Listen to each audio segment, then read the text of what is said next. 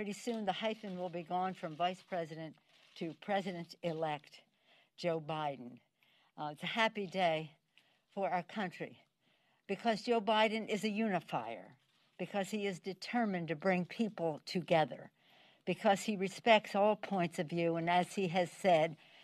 I ran as a Democrat, I'll govern as president for all of the people, whether they voted for me